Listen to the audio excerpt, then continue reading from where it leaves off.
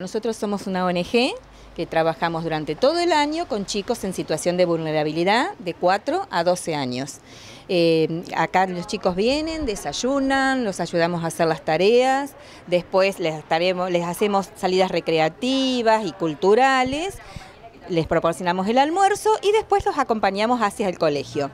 Así que en pos de poder mejorar las actividades con los niños, hemos hecho por esta vez una feria americana. Para recaudar fondos, nuestro principal objetivo en este momento es comprar sillas para que ellos puedan este, estar un poco más cómodos realizando sus actividades. Em, destacamos entonces que bueno, eh, son muchos eh, los propósitos que tienen y para poder cumplirlos siempre se necesita mejorar.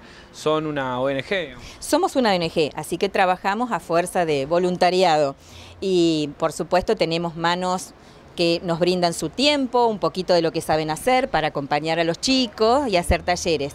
Y en este caso queremos mejorarle el lugar donde ellos trabajan. Mañana estamos desde las 10 de la mañana hasta las 18. ¿Cómo se fueron haciendo de, las cosas que están en la feria?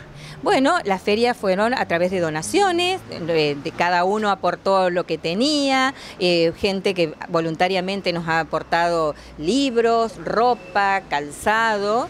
Eh, todo suma y las manos laboriosas de los niños que también han hecho unas galletitas y unos, este, unas pastas frolas para que ellos también colaboren en la, en la actividad. Y aparte tenemos una alcancía solidaria porque si a lo mejor hay alguien que no encuentra lo que vino a buscar y puede aportar aunque sea una mínima donación, todo suma. Eh, de todas maneras hay de todo, es decir, que tienen que venir y, buscar, algo se van a llevar. Algo van a encontrar, en este, esta es nuestra primera feria, si bien hemos hecho otras, otras eh, actividades, esta es nuestra primera feria, pero van a encontrar un poquito de ropa para chicos, para grandes, calzado, ropa de bebé, libros, al que hay mucha gente que le gusta leer y algunos libros este, de texto, hay novelas, eh, en fin, de todo un poquito como para, para revolver. Aunque mañana sabemos que está el partido River Boca, pero antes pueden venir a visitarnos.